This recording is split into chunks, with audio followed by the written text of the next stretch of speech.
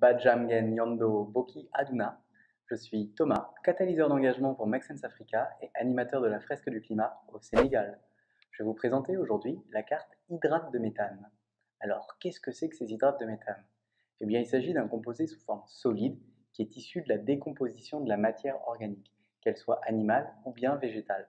En fait, c'est ni plus ni moins que nos ptéropodes et coccolithophores qui se sont décomposés. En se décomposant, ils ont créé du méthane Souvenez-vous, c'est le cas en l'absence d'oxygène, et ce méthane s'est retrouvé emprisonné par l'eau. Ça s'est cristallisé, et donc aujourd'hui ça ressemble tout simplement à de la glace. Cette glace se retrouve dans les couches sédimentaires des fonds océaniques. Elle y est emprisonnée pour deux raisons. La première étant les faibles températures, et la seconde étant la forte pression qui y est exercée.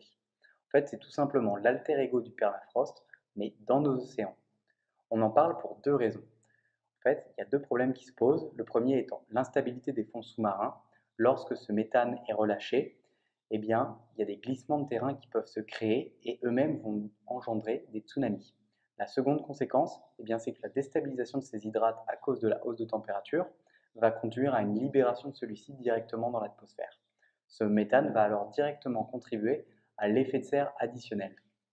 C'est ce qu'on appelle en fait une boucle de rétroaction positive qui va du coup accélérer le changement climatique. Si vous voulez en savoir plus sur les causes et les conséquences du changement climatique, eh bien jetez un coup d'œil à toutes les autres cartes.